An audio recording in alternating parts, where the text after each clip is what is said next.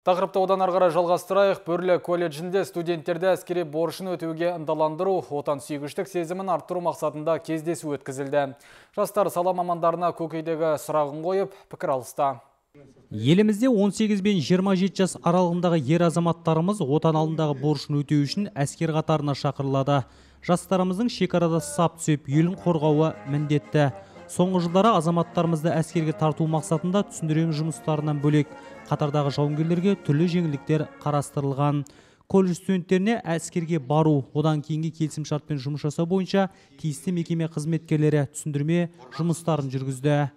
Яғни азаматтардың бұл ақпаратта яғни қарулы күштерінде болып жатқан қарулы күштер басқа әскерилер құрамаларында болып жатқан яғни жетістіктерді толықтай жеткізу яғни азаматтарға әскери борыштың өтеу кезіндегі жеңілдіктері мен артықшылықтарын да жеткізе білу. Бүгінгі шараны сұңқарақсай қоғамдық бірлестігі мен аудандық қорғаныс істері жөніндегі бөлім қызметкерлері ұйымдастырып отыр.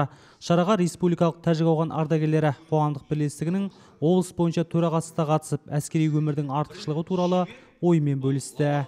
Касаемо Әскер туралы өз ойымды айта кетейін. Әскер бұл жас жігітті жауапкершілікке үйрететін орны. Сіздерді әр істі мұқият атқаруға, тиянақтылыққа үйретеді. Сонымен қатар өз өздеріңе сенімді болуға тәрбиелейді. Бұл аздай күнделікті жаттығулар жас сарбазды шынықтырып, ширақта шымыр болуына себепші болады.